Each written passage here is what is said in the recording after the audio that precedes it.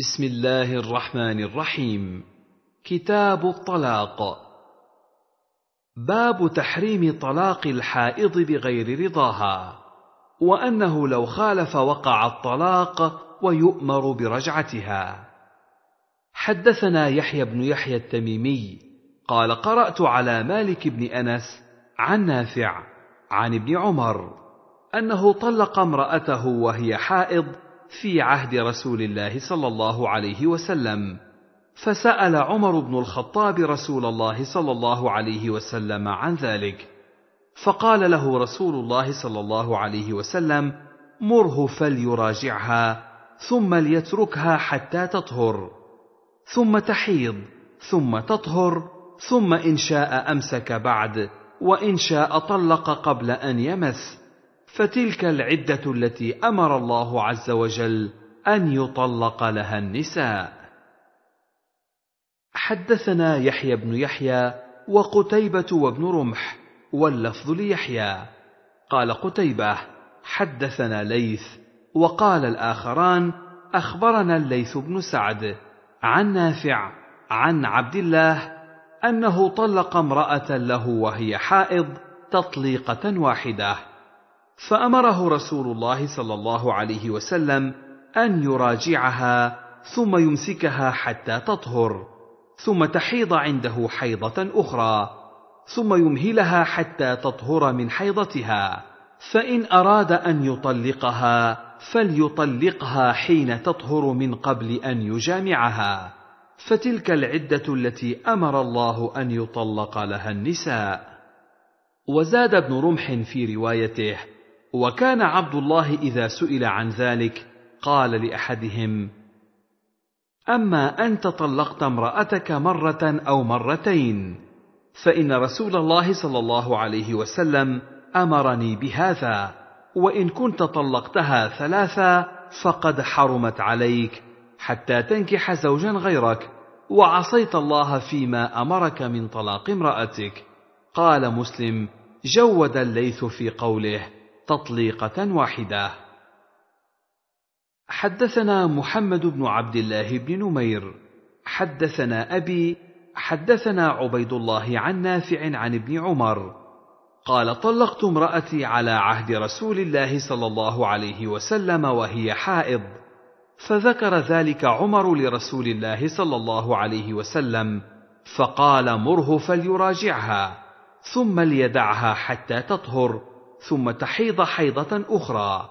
فإذا طهرت فليطلقها قبل أن يجامعها أو يمسكها. فإنها العدة التي أمر الله أن يطلق لها النساء. قال عبيد الله قلت لنافع ما صنعت التطليقة؟ قال واحدة اعتد بها. وحدثناه أبو بكر بن أبي شيبة وابن المثنى. قال حدثنا عبد الله بن إدريس عن عبيد الله بهذا الإسناد نحوه ولم يذكر قول عبيد الله لنافع. قال ابن المثنى في روايته فليرجعها وقال أبو بكر فليراجعها. وحدثني زهير بن حرب حدثنا إسماعيل عن أيوب عن نافع أن ابن عمر طلق امرأته وهي حائض. فسأل عمر النبي صلى الله عليه وسلم فأمره أن يرجعها ثم يمهلها حتى تحيض حيضة أخرى ثم يمهلها حتى تطهر ثم يطلقها قبل أن يمسها. فتلك العدة التي أمر الله أن يطلق لها النساء.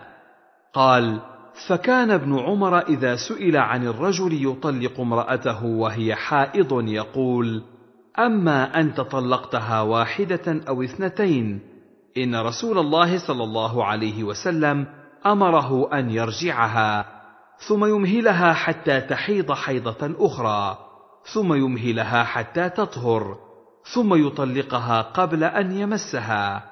وأما انت طلقتها ثلاثا فقد عصيت ربك فيما أمرك به من طلاق امرأتك وبانت منك.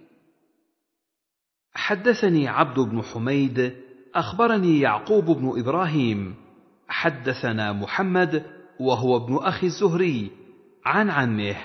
أخبرنا سالم بن عبد الله أن عبد الله بن عمر قال طلقت امرأتي وهي حائض فذكر ذلك عمر للنبي صلى الله عليه وسلم فتغيظ رسول الله صلى الله عليه وسلم ثم قال مره فليراجعها.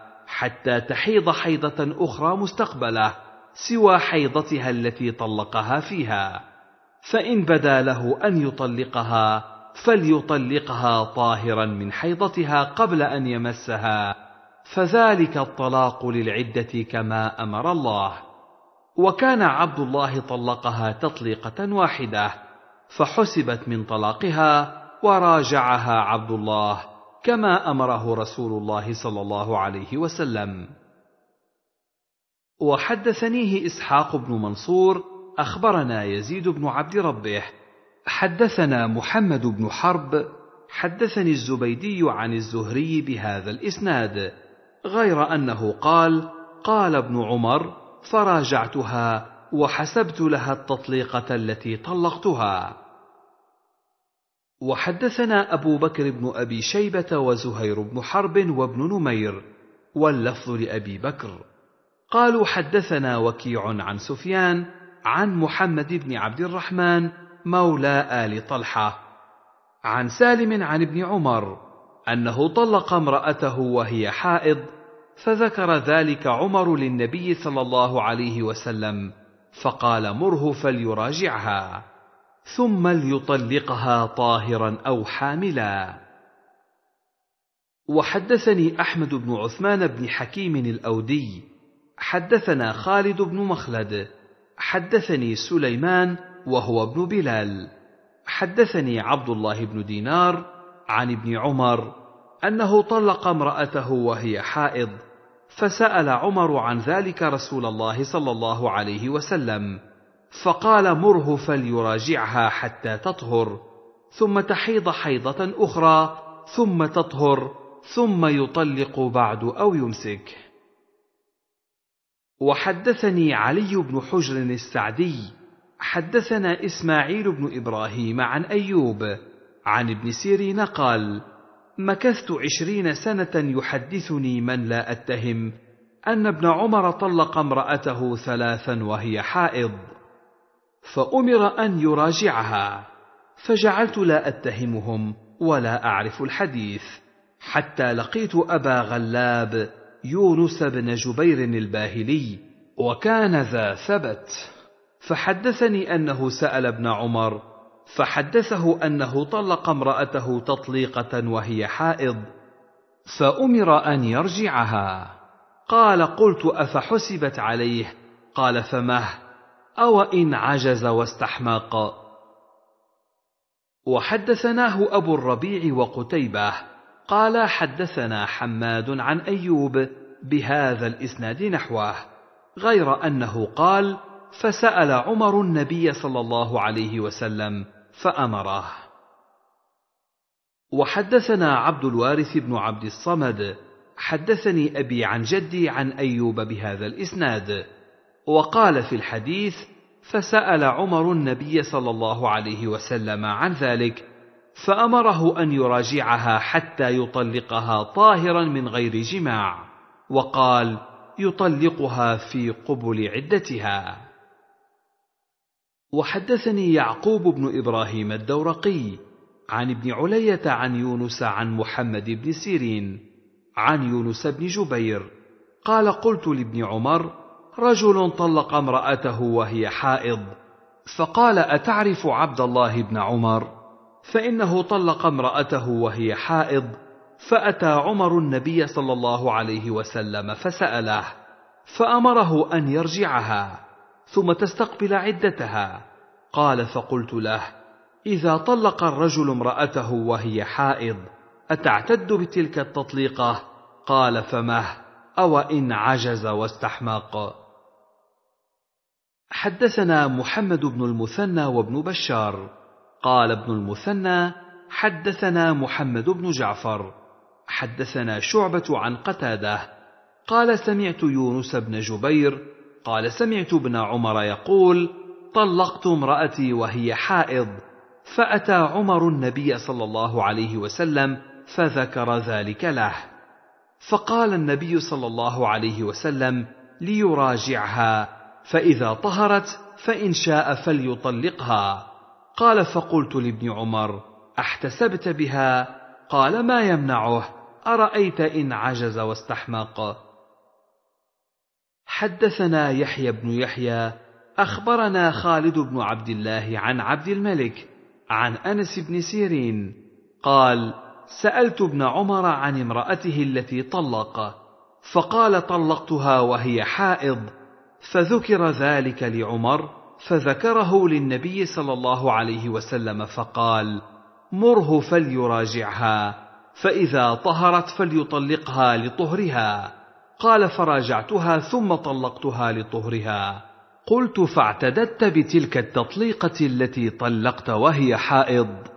قال ما لي لا أعتد بها وإن كنت عجزت واستحمقت. حدثنا محمد بن المثنى وابن بشار. قال ابن المثنى حدثنا محمد بن جعفر.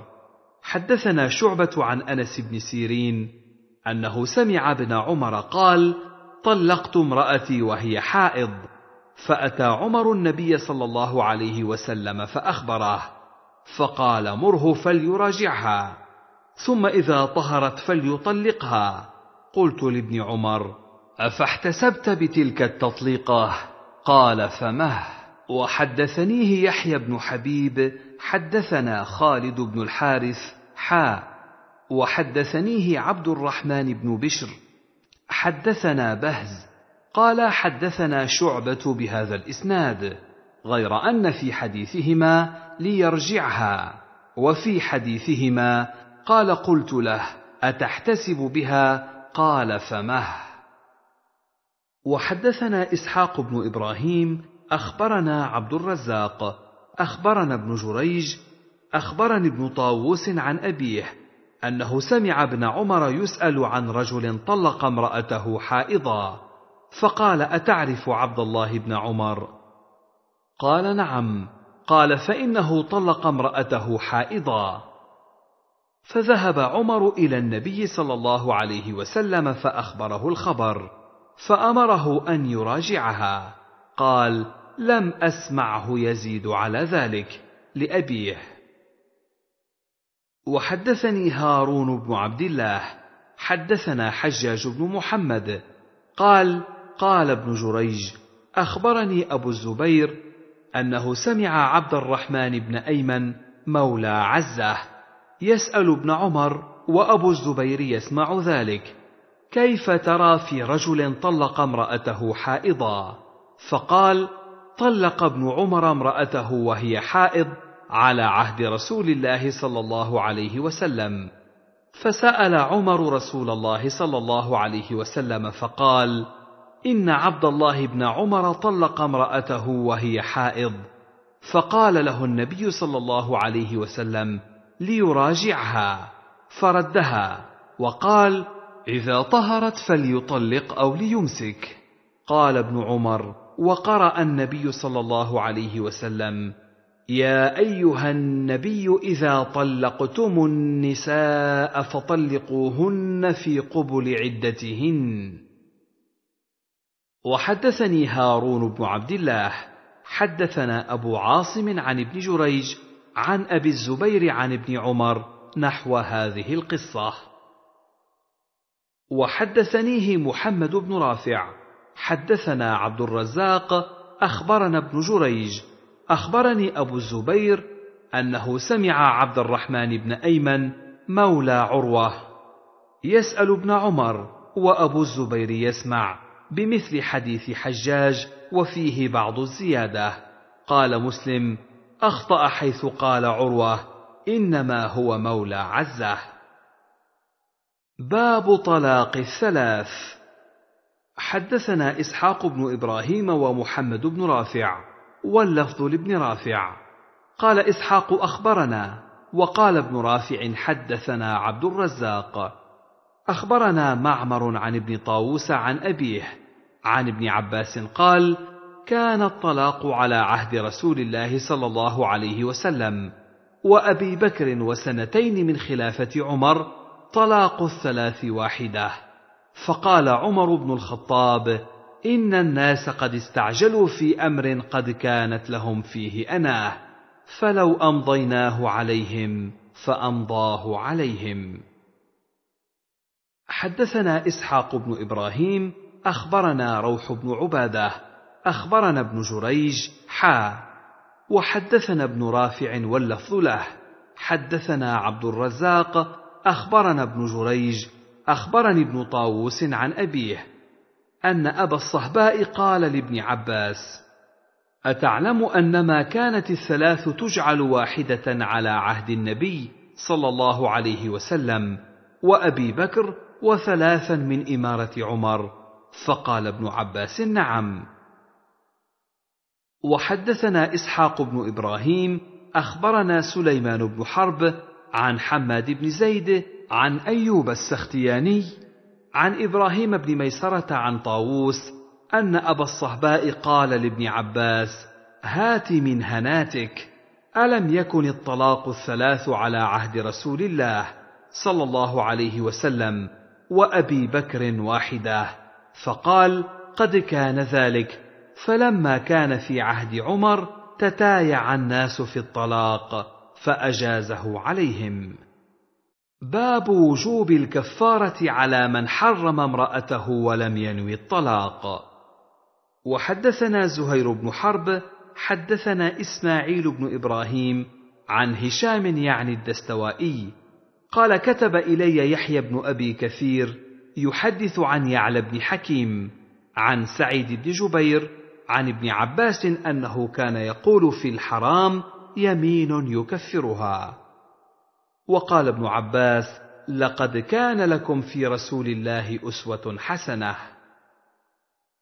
حدثنا يحيى بن بشر الحريري حدثنا معاوية يعني بن سلام عن يحيى بن أبي كثير أن يعلى بن حكيم أخبره أن سعيد بن جبير أخبره أنه سمع ابن عباس قال إذا حرم الرجل عليه امرأته فهي يمين يكفرها وقال لقد كان لكم في رسول الله صلى الله عليه وسلم أسوة حسنة. وحدثني محمد بن حاتم حدثنا حجاج بن محمد أخبرنا ابن جريج أخبرني عطاء أنه سمع عبيد بن عمير يخبر أنه سمع عائشة تخبر أن النبي صلى الله عليه وسلم كان يمكث عند زينب بنت جحش فيشرب عندها عسلا. قالت فتواطيت أنا وحفصة أن أيتنا ما دخل عليها النبي صلى الله عليه وسلم فلتقل إني أجد منك ريح مغافير. أكلت مغافير؟ فدخل على إحداهما فقالت ذلك له. فقال بل شربت عسلا عند زينب بنت جحش ولن أعود له. فنزل لم تحرم ما أحل الله لك؟ إلى قوله إن تتوبا لعائشة وحفصة. وإذ أسر النبي إلى بعض أزواجه حديثا لقوله بل شربت عسلا. حدثنا أبو كريب محمد بن العلاء وهارون بن عبد الله.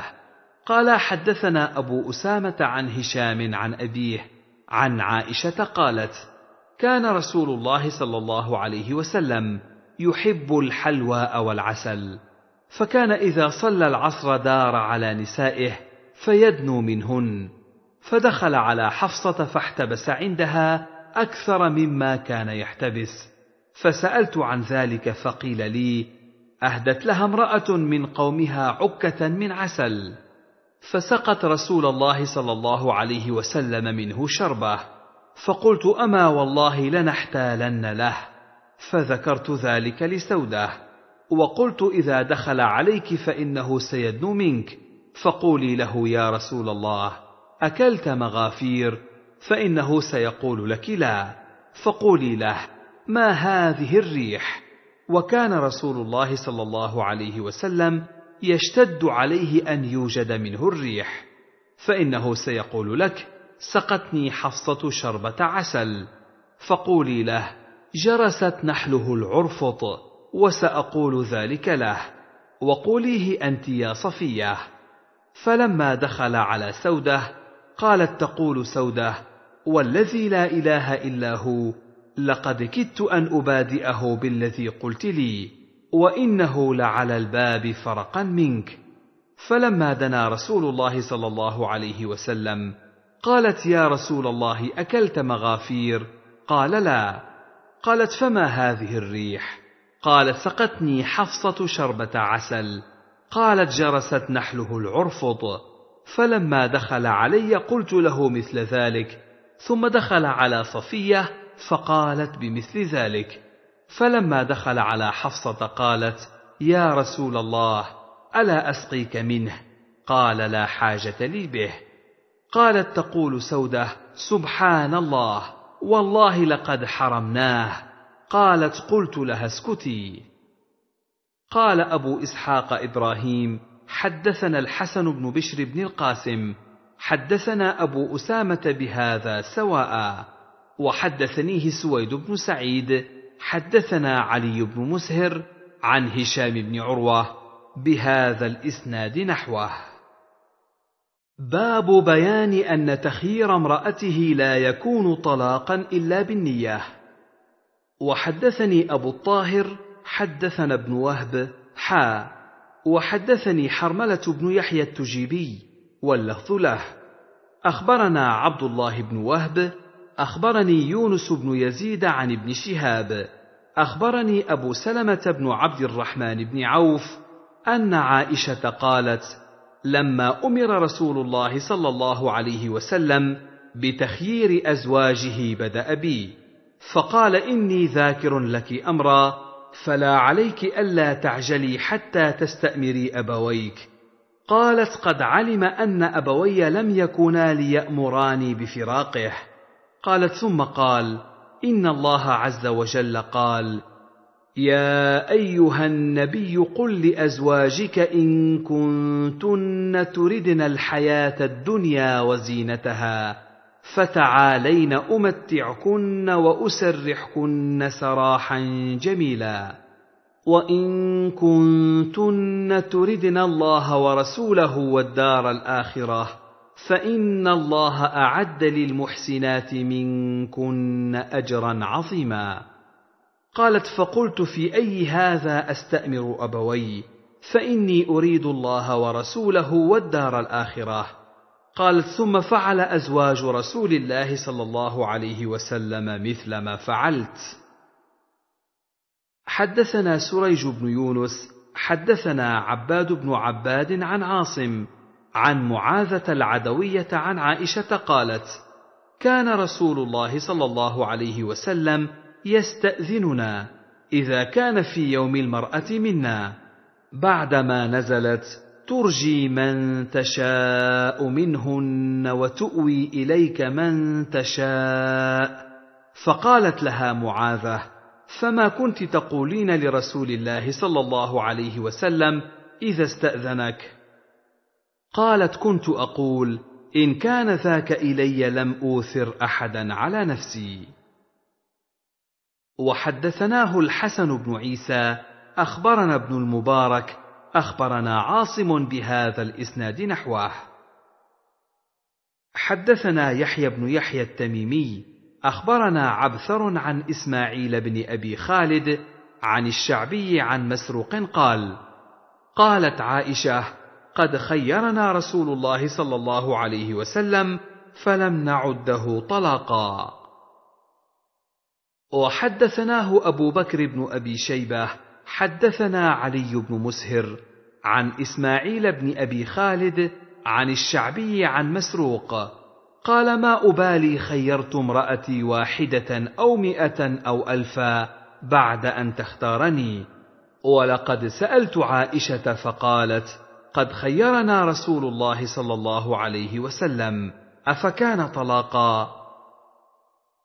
حدثنا محمد بن بشار حدثنا محمد بن جعفر حدثنا شعبة عن عاصم عن الشعبي عن مسروق عن عائشة أن رسول الله صلى الله عليه وسلم خير نساءه فلم يكن طلاقا.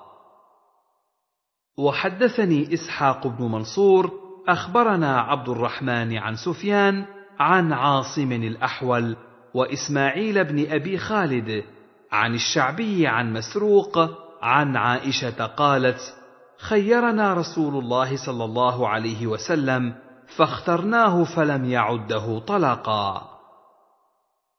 حدثنا يحيى بن يحيى وأبو بكر بن أبي شيبة وأبو كريب. قال يحيى أخبرنا. وقال الآخران حدثنا أبو معاوية عن الأعمش عن مسلم عن مسروق عن عائشة قالت خيرنا رسول الله صلى الله عليه وسلم فاخترناه فلم يعددها علينا شيئا. وحدثني أبو الربيع الزهراني حدثنا إسماعيل بن زكريا حدثنا الأعمش عن إبراهيم عن الأسود عن عائشة وعن الأعمش عن مسلم عن مسروق عن عائشة بمثله. وحدثنا زهير بن حرب حدثنا روح بن عبادة حدثنا زكرياء بن إسحاق حدثنا أبو الزبير عن جابر بن عبد الله. قال دخل أبو بكر يستأذن على رسول الله صلى الله عليه وسلم فوجد الناس جلوسا ببابه لم يؤذن لأحد منهم. قال فأذن لأبي بكر فدخل. ثم أقبل عمر فاستأذن فأذن له. فوجد النبي صلى الله عليه وسلم جالسا حوله نساؤه واجما ساكتا. قال فقال لأقولن شيئا أضحك النبي صلى الله عليه وسلم. فقال يا رسول الله لو رأيت بنت خارجة سألتني النفقة فقمت إليها فوجأت عنقها. فضحك رسول الله صلى الله عليه وسلم وقال هن حولي كما ترى يسألنني النفقة. فقام أبو بكر إلى عائشة يجأ عنقها. فقام عمر إلى حفصة يجأ عنقها. كلاهما يقول تسألن رسول الله صلى الله عليه وسلم ما ليس عنده. فقلن والله لا نسأل رسول الله صلى الله عليه وسلم شيئا ابدا ليس عنده. ثم اعتزلهن شهرا أو تسعا وعشرين. ثم نزلت عليه هذه الآية. يا أيها النبي قل لأزواجك حتى بلغ للمحسنات منكن اجرا عظيما. قال فبدأ بعائشة فقال يا عائشة إني أريد أن أعرض عليك أمرا أحب الا تعجلي فيه حتى تستشيري أبويك. قالت وما هو يا رسول الله؟ فتلا عليها الآية. قالت أفيك يا رسول الله أستشير أبوي؟ بل أختار الله ورسوله والدار الآخرة.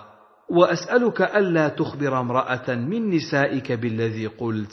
قال لا تسألني امرأة منهن إلا أخبرتها. إن الله لم يبعثني معنتا ولا متعنتا ولكن بعثني معلما ميسرا.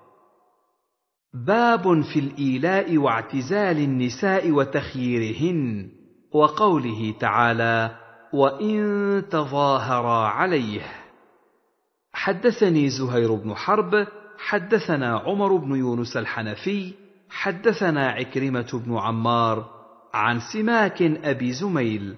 حدثني عبد الله بن عباس.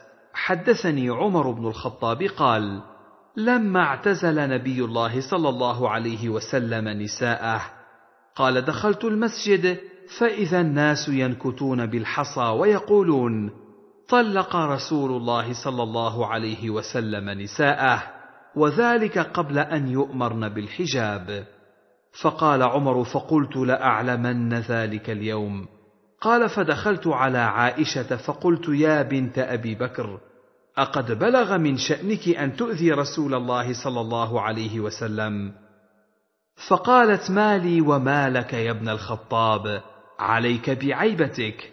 قال فدخلت على حفصة بنت عمر فقلت لها يا حفصة أقد بلغ من شأنك أن تؤذي رسول الله صلى الله عليه وسلم. والله لقد علمت أن رسول الله صلى الله عليه وسلم لا يحبك ولولا أنا لطلقك رسول الله صلى الله عليه وسلم فبكت أشد البكاء. فقلت لها أين رسول الله صلى الله عليه وسلم؟ قالت هو في خزانته في المشربة. فدخلت فإذا أنا برباح غلام رسول الله صلى الله عليه وسلم قاعدا على أسكفة المشربة مدل رجليه على نقير من خشب وهو جذع يرقى عليه رسول الله صلى الله عليه وسلم وينحدر. فناديت يا رباح استأذن لي عندك على رسول الله صلى الله عليه وسلم. فنظر رباح إلى الغرفة ثم نظر إلي فلم يقل شيئا. ثم قلت يا رباح استأذن لي عندك على رسول الله صلى الله عليه وسلم. فنظر رباح إلى الغرفة ثم نظر إلي فلم يقل شيئا. ثم رفعت صوتي فقلت يا رباح استأذن لي عندك على رسول الله صلى الله عليه وسلم. فإني أظن أن رسول الله صلى الله عليه وسلم ظن أني جئت من أجل حفصة. والله لئن أمرني رسول الله صلى الله عليه وسلم بضرب عنقها لأضربن عنقها ورفعت صوتي فأومأ إلي أن ارقه. فدخلت على رسول الله صلى الله عليه وسلم وهو مضطجع على حصير. فجلست فأدنى عليه إزاره وليس عليه غيره. وإذا الحصير قد أثر في جنبه فنظرت ببصري في خزانة رسول الله صلى الله عليه وسلم فإذا أنا بقبضة من شعير نحو الصاع ومثلها قرضا في ناحية الغرفة وإذا أفيق معلق قال فابتدرت عيناي قال ما يبكيك يا ابن الخطاب؟ قلت يا نبي الله وما لي لا أبكي. وهذا الحصير قد أثر في جنبك وهذه خزانتك لا أرى فيها إلا ما أرى وذاك قيصر وكسرى في الثمار والأنهار وأنت رسول الله صلى الله عليه وسلم وصفوته وهذه خزانتك. فقال يا ابن الخطاب ألا ترضى أن تكون لنا الآخرة ولهم الدنيا؟ قلت بلى. قال ودخلت عليه حين دخلت وأنا أرى في وجهه الغضب. فقلت يا رسول الله ما يشق عليك من شأن النساء؟ فإن كنت طلقتهن فإن الله معك وملائكته وجبريل وميكائيل وأنا وأبو بكر والمؤمنون معك. وقلما تكلمت وأحمد الله بكلام إلا رجوت أن يكون الله يصدق قولي الذي أقول. ونزلت هذه الآية آية التخيير. عسى ربه إن طلقكن أن يبدله أزواجا خيرا منكن. وإن تظاهرا عليه فإن الله هو مولاه. وجبريل وصالح المؤمنين والملائكة بعد ذلك ظهير. وكانت عائشة بنت أبي بكر وحفصة تظاهران على سائر نساء النبي صلى الله عليه وسلم. فقلت يا رسول الله أطلقتهن؟ قال لا. قلت يا رسول الله إني دخلت المسجد والمسلمون ينكتون بالحصى يقولون طلق رسول الله صلى الله عليه وسلم نساءه. أفأنزل فأخبرهم أنك لم تطلقهن؟ قال نعم إن شئت. فلم أزل أحدثه حتى تحسر الغضب عن وجهه وحتى كشر فضحك وكان من أحسن الناس ثغرا. ثم نزل نبي الله صلى الله عليه وسلم ونزلت. فنزلت أتشبث بالجذع ونزل رسول الله صلى الله عليه وسلم كانما يمشي على الأرض ما يمسه بيده. فقلت يا رسول الله إنما كنت في الغرفة تسعة وعشرين. قال إن الشهر يكون تسعا وعشرين. فقمت على باب المسجد فناديت بأعلى صوتي لم يطلق رسول الله صلى الله عليه وسلم نساءه. ونزلت هذه الآية واذا جاءهم أمر من الامن أو الخوف اذاعوا به ولو ردوه إلى الرسول والى اولي الامر منهم لعلمه الذين يستنبطونه منهم. فكنت أنا استنبطت ذلك الامر وانزل الله عز وجل إيه التخيير. حدثنا هارون بن سعيد الايلي حدثنا عبد الله بن وهب. أخبرني سليمان يعني بن بلال. أخبرني يحيى. أخبرني عبيد بن حنين أنه سمع عبد الله بن عباس يحدث. قال مكثت سنة وأنا أريد أن أسأل عمر بن الخطاب عن آية فما أستطيع أن أسأله هيبة له. حتى خرج حاجا فخرجت معه. فلما رجع فكنا ببعض الطريق. عدل إلى الاراك لحاجه له فوقفت له حتى فرغ ثم سرت معه. فقلت يا أمير المؤمنين من اللتان تظاهرتا على رسول الله صلى الله عليه وسلم من أزواجه؟ فقال تلك حفصة وعائشه قال فقلت له والله إن كنت لأريد أن أسألك عن هذا منذ سنة فما أستطيع هيبة لك؟ قال فلا تفعل. ما ظننت أن عندي من علم فسلني عنه فإن كنت أعلمه أخبرتك. قال وقال عمر والله إن كنا في الجاهلية ما نعد للنساء أمرا حتى أنزل الله تعالى فيهن ما أنزل وقسم لهن ما قسم. قال فبينما أنا في أمر اتمره إذ قالت لامرأتي لو صنعت كذا وكذا. فقلت لها وما لك أنت ولما ها هنا؟ وما تكلفك في أمر أريده؟ فقالت لي عجبا لك يا ابن الخطاب.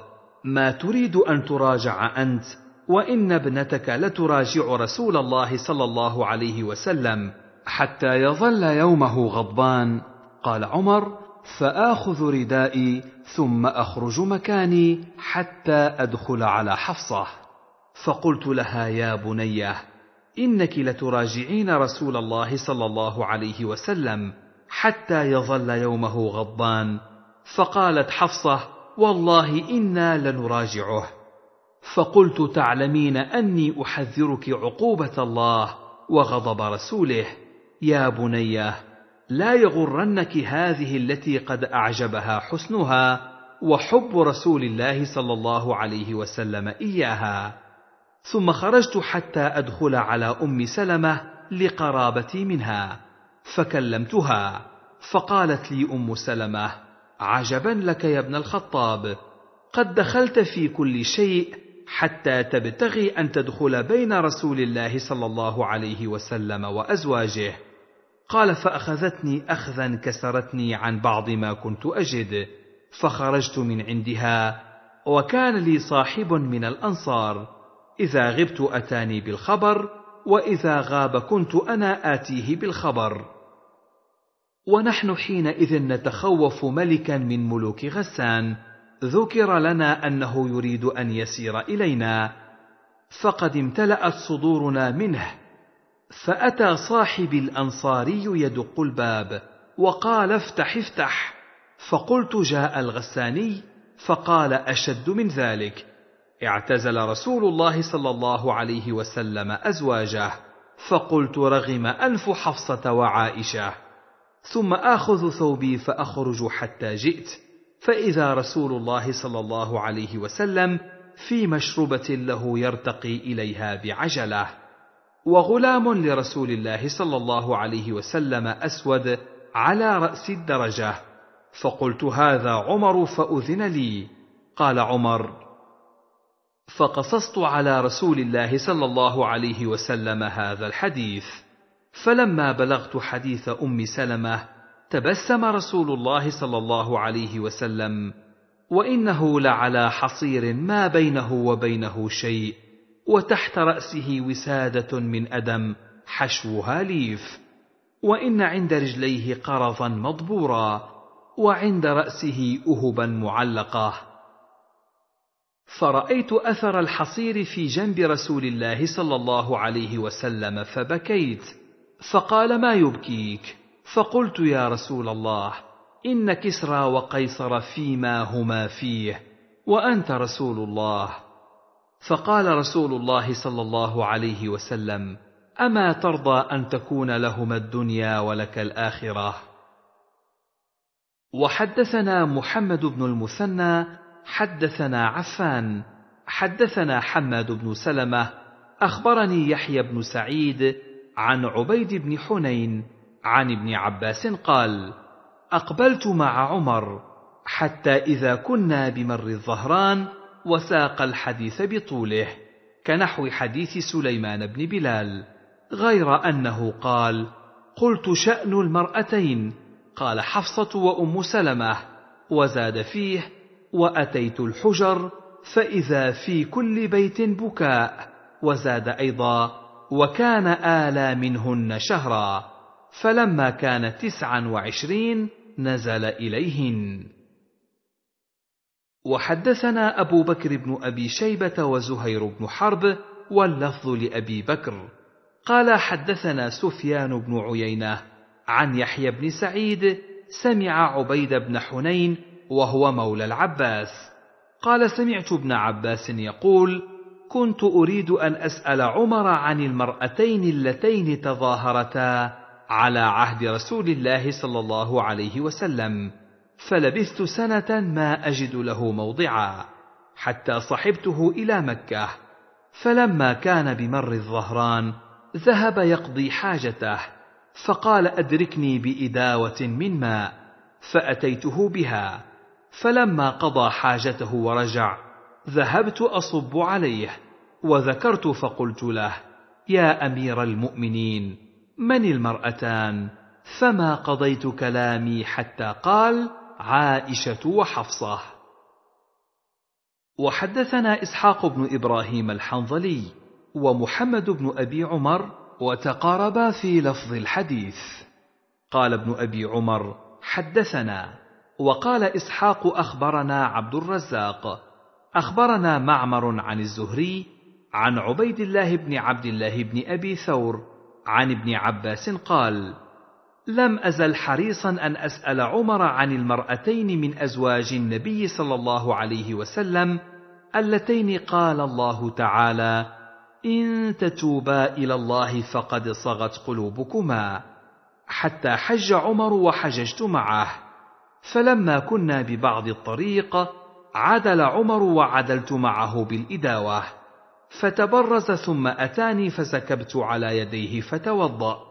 فقلت يا أمير المؤمنين من المرأتان من أزواج النبي صلى الله عليه وسلم اللتان قال الله عز وجل لهما إن تتوبا إلى الله فقد صغت قلوبكما. قال عمر وعجبا لك يا ابن عباس. قال الزهري كره والله ما سأله عنه ولم يكتمه. قال هي حفصة وعائشة ثم أخذ يسوق الحديث. قال كنا معشر قريش قوما نغلب النساء فلما قدمنا المدينة وجدنا قوما تغلبهم نساؤهم. فطفق نساؤنا يتعلمن من نسائهم. قال وكان منزلي في بني أمية بن زيد بالعوالي فتغضبت يوما على امرأتي فإذا هي تراجعني فأنكرت أن تراجعني فقالت ما تنكر أن أراجعك فوالله إن أزواج النبي صلى الله عليه وسلم لا يراجعنه وتهجره إحداهن اليوم إلى الليل فانطلقت فدخلت على حفصة فقلت أتراجعين رسول الله صلى الله عليه وسلم؟ فقالت نعم. فقلت أتهجره إحداكن اليوم إلى الليل؟ قالت نعم. قلت قد خاب من فعل ذلك منكن وخسر. أفتأمن إحداكن أن يغضب الله عليها لغضب رسوله صلى الله عليه وسلم؟ فإذا هي قد هلكت لا تراجعي رسول الله صلى الله عليه وسلم. ولا تسأليه شيئا وسليني ما بدا لك. ولا يغرنك أن كانت جارتك هي أوسم وأحب إلى رسول الله صلى الله عليه وسلم منك يريد عائشة. قال وكان لي جار من الأنصار فكنا نتناوب النزول إلى رسول الله صلى الله عليه وسلم. فينزل يوما وأنزل يوما فيأتيني بخبر الوحي وغيره. وآتيه بمثل ذلك. وكنا نتحدث أن غسان تنعل الخيل لتغزونا. فنزل صاحبي ثم أتاني عشاء فضرب بابي ثم ناداني فخرجت إليه. فقال حدث أمر عظيم. قلت ماذا؟ أجاءت غسان؟ قال لا بل أعظم من ذلك وأطول. طلق النبي صلى الله عليه وسلم نساءه. فقلت قد خابت حفصة وخسرت. قد كنت أظن هذا كائنا. حتى إذا صليت الصبح شددت علي ثيابي ثم نزلت فدخلت على حفصة وهي تبكي. فقلت اطلقكن رسول الله صلى الله عليه وسلم. فقالت لا أدري ها هو ذا معتزل في هذه المشربة. فأتيت غلاما له أسود. فقلت استأذن لعمر. فدخل ثم خرج إلي فقال قد ذكرتك له فصمت. فانطلقت حتى انتهيت إلى المنبر فجلست. فإذا عنده رهط جلوس يبكي بعضهم. فجلست قليلا ثم غلبني ما أجد. ثم أتيت الغلام فقلت استأذن لعمر. فدخل ثم خرج إلي فقال قد ذكرتك له فصمت. فوليت مدبرا فإذا الغلام يدعوني. فقال ادخل فقد أذن لك. فدخلت فسلمت على رسول الله صلى الله عليه وسلم فإذا هو متكئ على رمل حصير قد أثر في جنبه. فقلت أطلقت يا رسول الله نساءك. فرفع رأسه إلي وقال لا. فقلت الله أكبر. لو رأيتنا يا رسول الله وكنا معشر قريش قوما نغلب النساء. فلما قدمنا المدينة وجدنا قوما تغلبهم نساؤهم فطفق نساؤنا يتعلمن من نسائهم فتغضبت على امرأتي يوما فإذا هي تراجعني فأنكرت أن تراجعني فقالت ما تنكر أن أراجعك؟ فوالله إن أزواج النبي صلى الله عليه وسلم ليراجعنه وتهجره إحداهن اليوم إلى الليل. فقلت قد خاب من فعل ذلك منهن وخسر. أفتأمن إحداهن أن يغضب الله عليها لغضب رسوله صلى الله عليه وسلم فإذا هي قد هلكت؟ فتبسم رسول الله صلى الله عليه وسلم. فقلت يا رسول الله قد دخلت على حفصة فقلت لا يغرنك أن كانت جارتك هي أوسم منك. وأحب إلى رسول الله صلى الله عليه وسلم منك فتبسم أخرى. فقلت أستأنس يا رسول الله. قال نعم. فجلست فرفعت رأسي في البيت. فوالله ما رأيت فيه شيئا يرد البصر إلا اهبا ثلاثة. فقلت ادع الله يا رسول الله أن يوسع على أمتك. فقد وسع على فارس والروم. وهم لا يعبدون الله. فاستوى جالسا ثم قال أفي شك أنت يا ابن الخطاب؟ أولئك قوم عجلت لهم طيباتهم في الحياة الدنيا. فقلت استغفر لي يا رسول الله. وكان أقسم الا يدخل عليهن شهرا من شدة موجدته عليهن حتى عاتبه الله عز وجل. قال الزهري فأخبرني عروة عن عائشة قالت لما مضى تسع وعشرون ليلة دخل علي رسول الله صلى الله عليه وسلم بدأ بي فقلت يا رسول الله إنك أقسمت ألا تدخل علينا شهرا وإنك دخلت من تسع وعشرين أعدهن. فقال إن الشهر تسع وعشرون. ثم قال يا عائشة إني ذاكر لك أمرا فلا عليك ألا تعجلي فيه حتى تستأمري أبويك. ثم قرأ علي الآية. يا أيها النبي قل لأزواجك حتى بلغ اجرا عظيما. قالت عائشة قد علم والله أن أبوي لم يكونا ليأمراني بفراقه. قالت فقلت أو في هذا أستأمر أبوي؟ فإني أريد الله ورسوله والدار الآخرة. قال معمر فأخبرني أيوب أن عائشة قالت لا تخبر نساءك أني اخترتك. فقال لها النبي صلى الله عليه وسلم إن الله أرسلني مبلغا ولم يرسلني متعنتا. قال قتادة صغت قلوبكما مالت قلوبكما. باب المطلقة ثلاثا لا نفقة لها. حدثنا يحيى بن يحيى قال قرأت على مالك عن عبد الله بن يزيد مولى الأسود بن سفيان عن أبي سلمة بن عبد الرحمن عن فاطمة بنت قيس أن أبا عمرو بن حفص طلقها البتة وهو غائب فأرسل إليها وكيله بشعير فسخطته فقال والله ما لك علينا من شيء فجاءت رسول الله صلى الله عليه وسلم فذكرت ذلك له فقال ليس لك عليه نفقة. فأمرها أن تعتد في بيت أم شريك ثم قال تلك امرأة يغشاها أصحابي اعتدي عند ابن أم مكتوم فإنه رجل أعمى تضعين ثيابك فإذا حللت فآذنيني. قالت فلما حللت ذكرت له أن معاوية بن أبي سفيان وأبا جهم خطباني فقال رسول الله صلى الله عليه وسلم أما أبو جهم فلا يضع عصاه عن عاتقه وأما معاوية فصعلوك لا مال له. انكحي أسامة بن زيد فكرهته ثم قال انكحي أسامة فنكحته فجعل الله فيه خيرا واغتبط.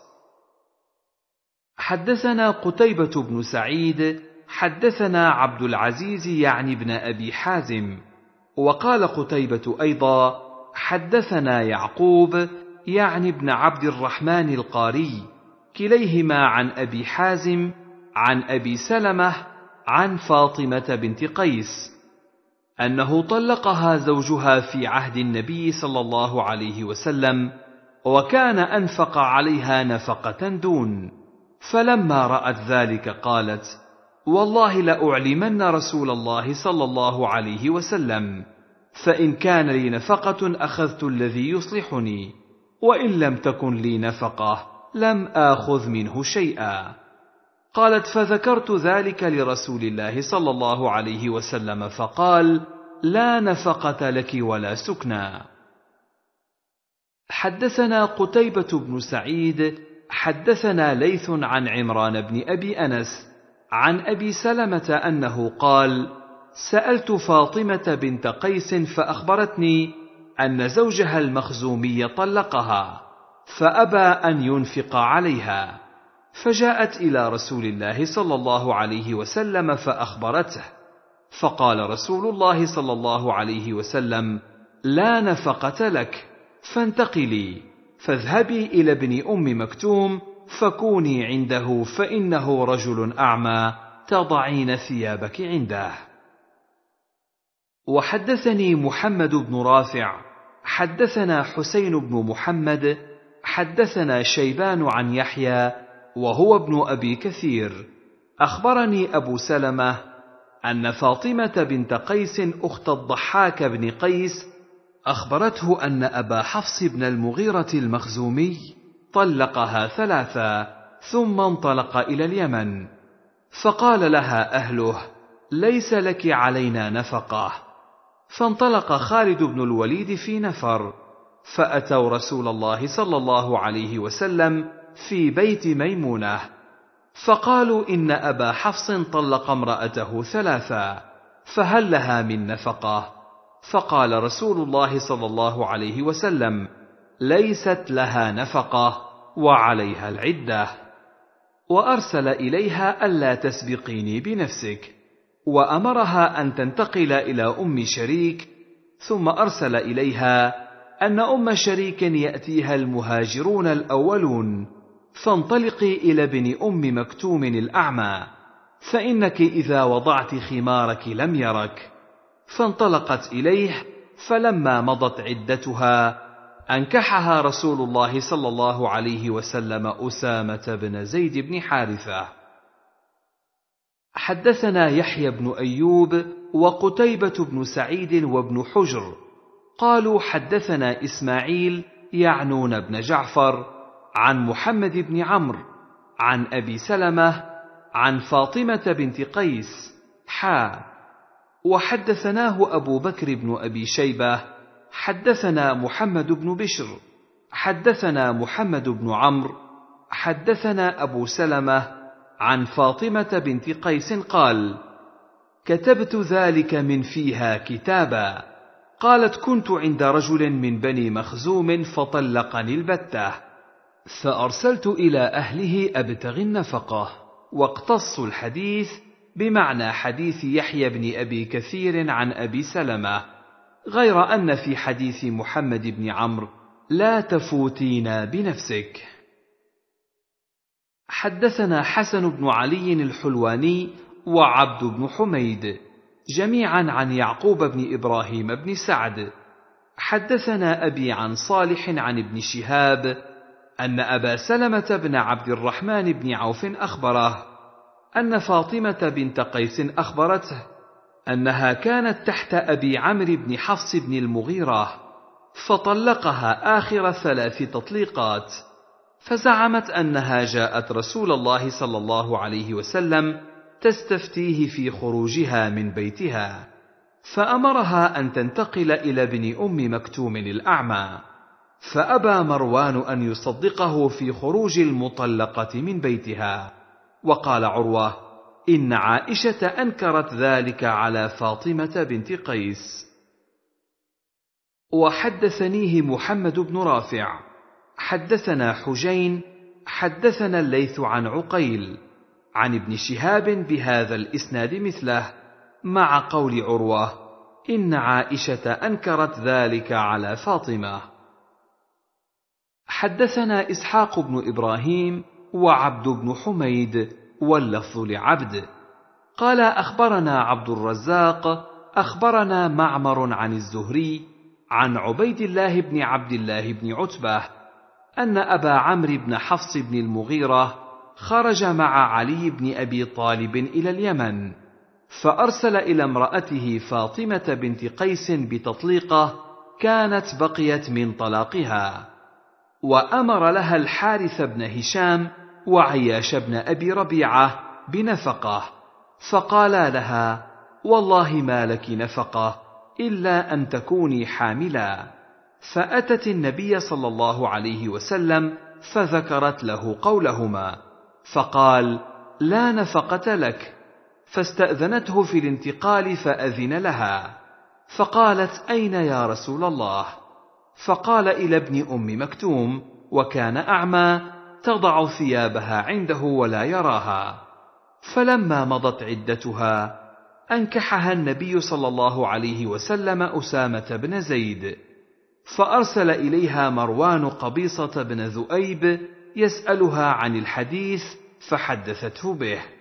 فقال مروان لم نسمع هذا الحديث إلا من امرأة سنأخذ بالعصمة التي وجدنا الناس عليها. فقالت فاطمة حين بلغها قول مروان فبيني وبينكم القرآن. قال الله عز وجل لا تخرجوهن من بيوتهن. الآية قالت هذا لمن كانت له مراجعة فأي أمر يحدث بعد الثلاث؟ فكيف تقولون لا نفقة لها إذا لم تكن حاملا؟ فعلام تحبسونها؟ حدثني زهير بن حرب حدثنا هشيم. أخبرنا سيار وحسين ومغيرة وأشعث ومجالد وإسماعيل بن أبي خالد وداود كلهم عن الشعبي. قال دخلت على فاطمة بنت قيس فسألتها عن قضاء رسول الله صلى الله عليه وسلم عليها فقالت طلقها زوجها البتة. فقالت فخاصمته إلى رسول الله صلى الله عليه وسلم في السكنى والنفقة. قالت فلم يجعل لي سكنى ولا نفقة وأمرني أن أعتد في بيت بن أم مكتوم. وحدثنا يحيى بن يحيى أخبرنا هشيم عن حسين وداود ومغيرة وإسماعيل وأشعث عن الشعبي أنه قال دخلت على فاطمة بنت قيس بمثل حديث زهير عن هشيم. حدثنا يحيى بن حبيب حدثنا خالد بن الحارث الهجيمي حدثنا قرة حدثنا سيار أبو الحكم. حدثنا الشعبي قال دخلنا على فاطمة بنت قيس فأتحفتنا برطب بن طاب وسقتنا سوق سلت. فسألتها عن المطلقة ثلاثا أين تعتد؟ قالت طلقني بعلي ثلاثا فأذن للنبي صلى الله عليه وسلم أن أعتد في أهلي. حدثنا محمد بن المثنى وابن بشار. قال حدثنا عبد الرحمن بن مهدي. حدثنا سفيان عن سلمة بن كهيل عن الشعبي عن فاطمة بنت قيس عن النبي صلى الله عليه وسلم في المطلقة ثلاثا قال ليس لها سكنى ولا نفقة. وحدثني إسحاق بن إبراهيم الحنظلي. أخبرنا يحيى بن آدم. حدثنا عمار بن رزيق. عن أبي إسحاق عن الشعبي. عن فاطمة بنت قيس قالت طلقني زوجي ثلاثا فأردت النقلة. فأتيت النبي صلى الله عليه وسلم فقال انتقلي إلى بيت ابن عمك عمرو بن أم مكتوم فاعتدي عنده. وحدثناه محمد بن عمرو بن جبلة حدثنا أبو أحمد حدثنا عمار بن رزيق عن أبي إسحاق قال كنت مع الأسود بن يزيد جالسا في المسجد الأعظم ومعنا الشعبي. فحدث الشعبي بحديث فاطمة بنت قيس أن رسول الله صلى الله عليه وسلم لم يجعل لها سكنى ولا نفقة ثم أخذ الأسود كفا من حصن فحصبه به فقال ويلك تحدث بمثل هذا؟ قال عمر لا نترك كتاب الله وسنة نبينا صلى الله عليه وسلم لقول امرأة لا ندري لعلها حفظت أو نسيت. لها السكنى والنفقة. قال الله عز وجل لا تخرجوهن من بيوتهن ولا يخرجن إلا أن يأتين بفاحشة مبينة. وحدثنا أحمد بن عبدة الضبي حدثنا أبو داود حدثنا سليمان بن معاذ عن أبي إسحاق بهذا الإسناد نحو حديث أبي أحمد عن عمار بن رزيق بقصته. وحدثنا أبو بكر بن أبي شيبة حدثنا وكيع حدثنا سفيان عن أبي بكر بن أبي الجهم ابن سخير العدوي. قال سمعت فاطمة بنت قيس تقول إن زوجها طلقها ثلاثا. فلم يجعل لها رسول الله صلى الله عليه وسلم سكنى ولا نفقة. قالت قال لي رسول الله صلى الله عليه وسلم إذا حللت فآذنيني. فآذنته فخطبها معاوية وأبو جهم وأسامة بن زيد. فقال رسول الله صلى الله عليه وسلم أما معاوية فرجل تريب لا مال له. وأما أبو جهم فرجل ضراب للنساء ولكن أسامة بن زيد فقالت بيدها هكذا أسامة أسامة فقال لها رسول الله صلى الله عليه وسلم طاعة الله وطاعة رسوله خير لك قالت فتزوجته فاغتبطت وحدثني إسحاق بن منصور حدثنا عبد الرحمن عن سفيان عن أبي بكر بن أبي الجهم قال سمعت فاطمة بنت قيس تقول أرسل إلي زوجي أبو عمرو بن حفص بن المغيرة عياش بن أبي ربيعة بطلاقي وأرسل معه بخمسة آصع تمر وخمسة آصع شعير فقلت اما لي نفقه إلا هذا ولا أعتد في منزلكم قال لا قالت فشددت علي ثيابي وأتيت رسول الله صلى الله عليه وسلم. فقال كم طلقك؟ قلت ثلاثا قال صدق ليس لك نفقة. اعتدي في بيت بن عمك بن أم مكتوم. فإنه ضرير البصر تلقي ثوبك عنده. فإذا انقضت عدتك فآذنيني. قالت فخطبني خطاب منهم معاوية وأبو الجهم فقال النبي صلى الله عليه وسلم إن معاوية ترب خفيف الحال وأبو الجهم منه شدة على النساء أو يضرب النساء أو نحو هذا ولكن عليك بأسامة بن زيد. وحدثني إسحاق بن منصور أخبرنا أبو عاصم حدثنا سفيان الثوري حدثني أبو بكر بن أبي الجهم قال دخلت أنا وأبو سلمة بن عبد الرحمن على فاطمة بنت قيس فسألناها فقالت كنت عند أبي عمرو بن حفص بن المغيرة فخرج في غزوة نجران وساق الحديث بنحو حديث ابن مهدي وزاد قالت فتزوجته فشرفني الله بأبي زيد وكرمني الله بأبي زيد. وحدثنا عبيد الله بن معاذ العنبري حدثنا أبي حدثنا شعبة حدثني أبو بكر. قال دخلت أنا وأبو سلمة على فاطمة بنت قيس زمن ابن الزبير فحدثتنا أن زوجها طلقها طلاقا باتا بنحو حديث سفيان.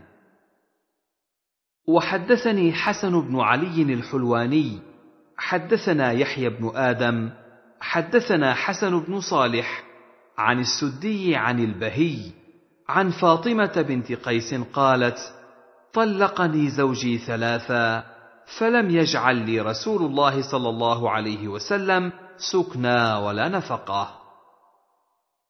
وحدثنا أبو كريب حدثنا أبو أسامة عن هشام حدثني أبي قال تزوج يحيى بن سعيد بن العاص بنت عبد الرحمن بن الحكم فطلقها فأخرجها من عنده فعاب ذلك عليهم عروة فقالوا إن فاطمة قد خرجت. قال عروة فأتيت عائشة فأخبرتها بذلك فقالت ما لفاطمة بنت قيس خير في أن تذكر هذا الحديث؟ وحدثنا محمد بن المثنى حدثنا حفص بن غياث حدثنا هشام عن أبيه عن فاطمة بنت قيس قالت قلت يا رسول الله زوجي طلقني ثلاثا وأخاف أن يقتحم علي. قال فأمرها فتحولت. وحدثنا محمد بن المثنى حدثنا محمد بن جعفر. حدثنا شعبة عن عبد الرحمن بن القاسم عن أبيه عن عائشة أنها قالت ما لفاطمة خير أن تذكر هذا؟ قال تعني قولها لا سكنى ولا نفقة. وحدثني إسحاق بن منصور أخبرنا عبد الرحمن عن سفيان عن عبد الرحمن بن القاسم عن أبيه قال قال عروة بن الزبير لعائشة ألم تري إلى فلانة بنت الحكم؟ طلقها زوجها البتة فخرجت فقالت بئس ما صنعت. فقال ألم تسمعي إلى قول فاطمة؟ فقالت أما إنه لا خير لها في ذكر ذلك. باب جواز خروج المعتدة البائن. والمتوفى عنها زوجها في النهار لحاجتها. وحدثني محمد بن حاتم بن ميمون. حدثنا يحيى بن سعيد عن ابن جريج. حا. وحدثنا محمد بن رافع. حدثنا عبد الرزاق. أخبرنا ابن جريج. حا. وحدثني هارون بن عبد الله واللفظ له. حدثنا حجاج بن محمد. قال قال ابن جريج أخبرني أبو الزبير أنه سمع جابر بن عبد الله يقول طلقت خالتي فأرادت أن تجد نخلها فزجرها رجل أن تخرج فأتت النبي صلى الله عليه وسلم فقال بلى فجدي نخلك فإنك عسى أن تصدقي أو تفعلي معروفا. باب انقضاء عدة المتوفى عنها زوجها وغيرها بوضع الحمل. وحدثني أبو الطاهر وحرملة بن يحيى وتقاربا في اللفظ. قال حرملة حدثنا وقال أبو الطاهر أخبرنا ابن وهب. حدثني يونس بن يزيد عن ابن شهاب. حدثني عبيد الله بن عبد الله بن عتبة بن مسعود. أن أباه كتب إلى عمر بن عبد الله بن الأرقم الزهري يأمره أن يدخل على سبيعة بنت الحارث الأسلمية فيسألها عن حديثها وعما قال لها رسول الله صلى الله عليه وسلم حين استفتته. فكتب عمر بن عبد الله إلى عبد الله بن عتبة يخبره أن سبيعة أخبرته أنها كانت تحت سعد بن خولة وهو في بني عامر بن لؤي وكان ممن شهد بدرا فتوفي عنها في حجة الوداع وهي حامل. فلم تنشب أن وضعت حملها بعد وفاته فلما تعلت من نفاسها تجملت للخطاب فدخل عليها أبو السنابل بن بعكك رجل من بني عبد الدار. فقال لها ما لي أراك متجملة لعلك ترجين النكاح. إنك والله ما أنت بناكح حتى تمر عليك أربعة أشهر وعشر. قالت سبيعة فلما قال لي ذلك جمعت علي ثيابي حين أمسيت. فأتيت رسول الله صلى الله عليه وسلم فسألته عن ذلك. فأفتاني بأني قد حللت حين وضعت حملي وأمرني بالتزوج إن بدا لي. قال ابن شهاب فلا أرى باسا أن تتزوج حين وضعت وإن كانت في دمها غير أن لا يقربها زوجها حتى تطهر. حدثنا محمد بن المثنى العنزي حدثنا عبد الوهاب قال سمعت يحيى بن سعيد أخبرني سليمان بن يسار أن أبا سلمة بن عبد الرحمن وابن عباس اجتمعا عند أبي هريرة وهما يذكران المرأة تنفس بعد وفاة زوجها بليال. فقال ابن عباس عدتها آخر الأجلين. وقال أبو سلمة قد حلت فجعلا يتنازعان ذلك. قال فقال أبو هريرة أنا مع ابن أخي يعني أبا سلمة فبعثوا كريبا مولى ابن عباس إلى أم سلمة يسألها عن ذلك فجاءهم فأخبرهم أن أم سلمة قالت إن سبيعه الأسلمية نفست بعد وفاة زوجها بليال وإنها ذكرت ذلك لرسول الله صلى الله عليه وسلم فأمرها أن تتزوج. وحدثناه محمد بن رمح أخبرنا الليث حا. وحدثناه أبو بكر بن أبي شيبة وعمر الناقد. قالا حدثنا يزيد بن هارون كلاهما عن يحيى بن سعيد بهذا الإسناد غير أن الليث قال في حديثه فأرسلوا إلى أم سلمة ولم يسم كريبا. باب وجوب الإحداد في عدة الوفاة وتحريمه في غير ذلك إلا ثلاثة أيام. وحدثنا يحيى بن يحيى قال قرأت على مالك عن عبد الله بن أبي بكر عن حميد بن نافع عن زينب بنت أبي سلمة أنها أخبرته هذه الأحاديث الثلاثة قال: قالت زينب: دخلت على أم حبيبة زوج النبي صلى الله عليه وسلم حين توفي أبوها أبو سفيان. فدعت أم حبيبة بطيب فيه صفرة خلوق أو غيره فدهنت منه جارية ثم مست بعارضيها ثم قالت والله ما لي بالطيب من حاجة غير أني سمعت رسول الله صلى الله عليه وسلم يقول على المنبر لا يحل لامرأة تؤمن بالله واليوم الآخر تحد على ميت فوق ثلاث إلا على زوج أربعة أشهر وعشرا قالت زينب ثم دخلت على زينب بنت جحش حين توفي أخوها. فدعت بطيب فمست منه ثم قالت والله ما لي بالطيب من حاجة غير أني سمعت رسول الله صلى الله عليه وسلم يقول على المنبر لا يحل لامرأة تؤمن بالله واليوم الآخر تحد على ميت فوق ثلاث إلا على زوج أربعة أشهر وعشرا قالت زينب سمعت أمي أم سلمة تقول جاءت امرأة إلى رسول الله صلى الله عليه وسلم فقالت يا رسول الله إن ابنتي توفي عنها زوجها وقد اشتكت عينها. أفنكحلها؟ فقال رسول الله صلى الله عليه وسلم لا مرتين أو ثلاثا كل ذلك يقول لا. ثم قال إنما هي أربعة أشهر وعشر. وقد كانت إحداكن في الجاهلية ترمي بالبعرة على رأس الحول.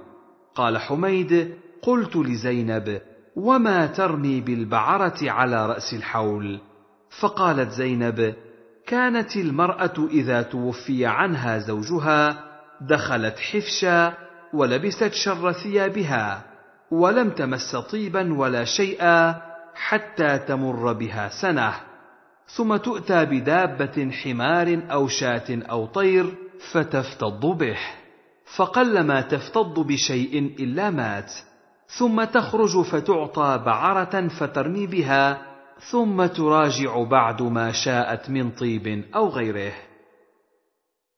وحدثنا محمد بن المثنى حدثنا محمد بن جعفر حدثنا شعبة عن حميد بن نافع قال سمعت زينب بنت أم سلمة قالت توفي حميم لأم حبيبة فدعت بصفرة فمسحته بذراعيها وقالت إنما أصنع هذا لأني سمعت رسول الله صلى الله عليه وسلم يقول لا يحل لامرأة تؤمن بالله واليوم الآخر أن تحد فوق ثلاث إلا على زوج أربعة أشهر وعشرا وحدثته زينب عن أمها وعن زينب زوج النبي صلى الله عليه وسلم أو عن امرأة من بعض أزواج النبي صلى الله عليه وسلم.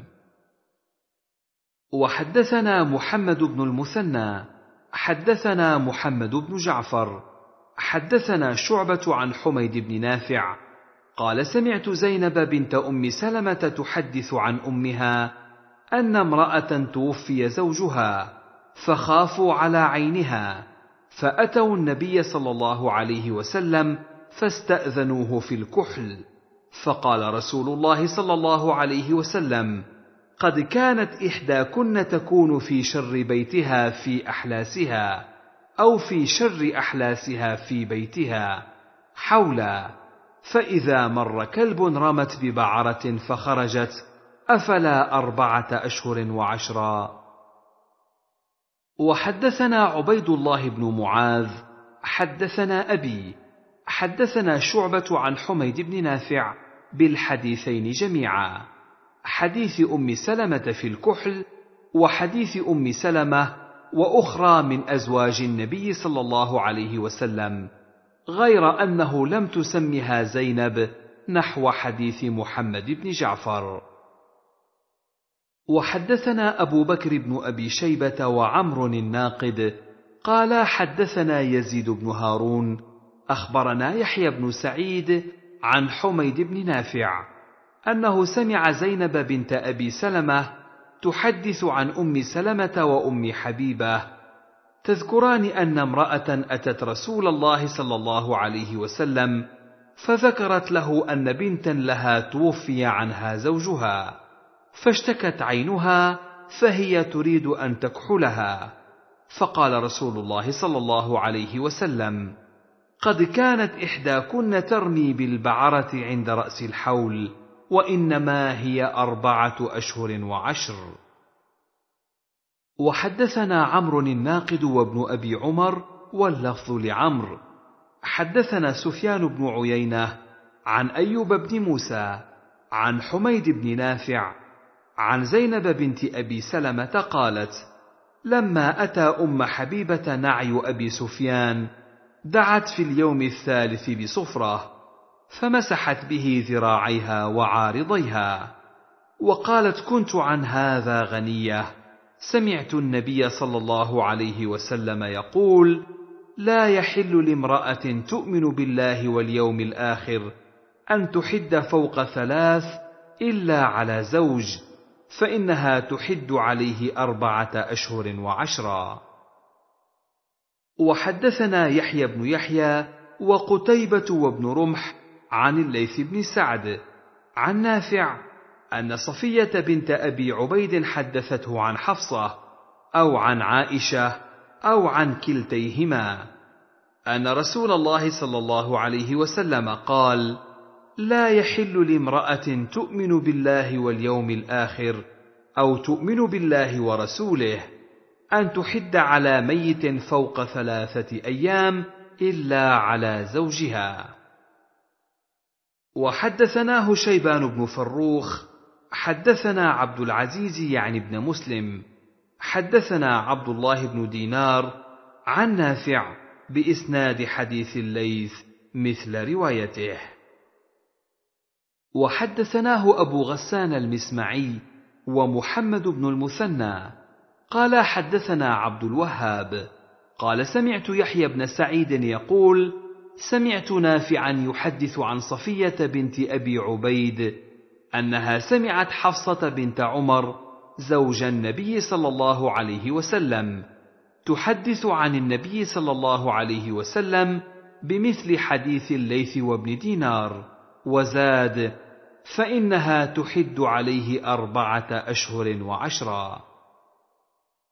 وحدثنا أبو الربيع حدثنا حماد عن أيوب حا وحدثنا ابن نمير حدثنا أبي حدثنا عبيد الله جميعا عن نافع عن صفية بنت أبي عبيد عن بعض أزواج النبي صلى الله عليه وسلم عن النبي صلى الله عليه وسلم بمعنى حديثهم.